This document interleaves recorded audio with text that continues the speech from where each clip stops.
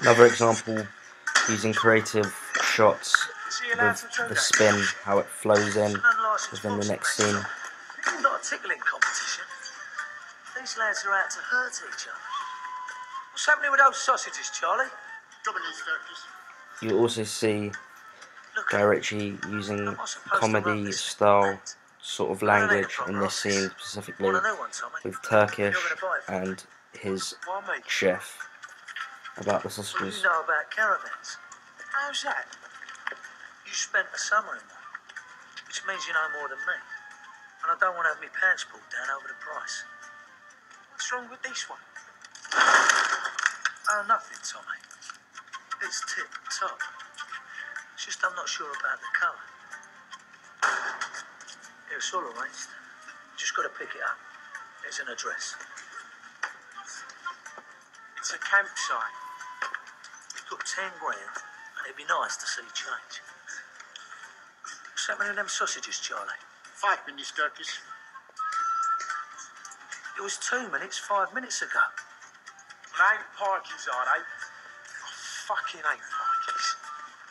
You're a sensitive, aren't you, Tommy?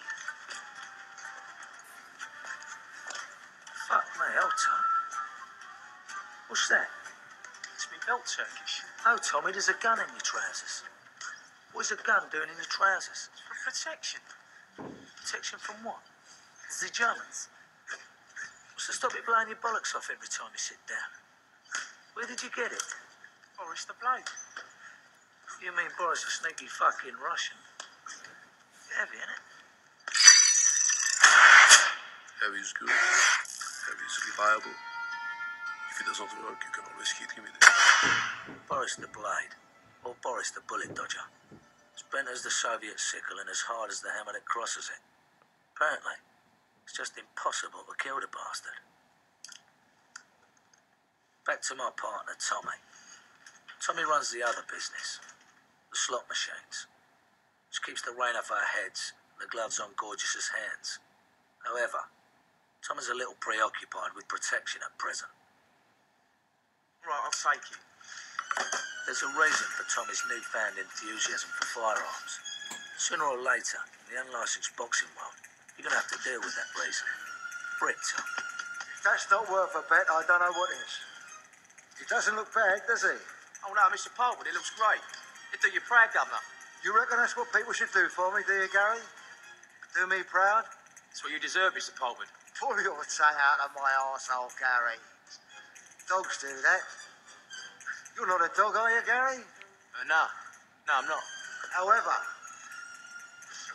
you do have all the characteristics of a dog, Gary. All except loyalty. It's rumoured that Bricktop's favourite means of dispatch holds a stun gun, a plastic bag, a roll of tape, and a pack of hungry pigs. You're a ruthless little cunt, Liam, I'll give you that. I've got no time for grasses. Feed them to the pigs. What the fuck are you two looking at?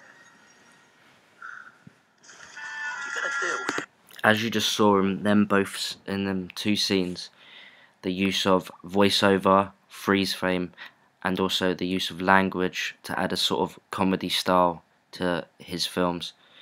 You you'll see in both Lock, Stock and Snatch that he has he uses voiceover with freeze frames to kind of tell the audience the story bit by bit so they so they know where they are.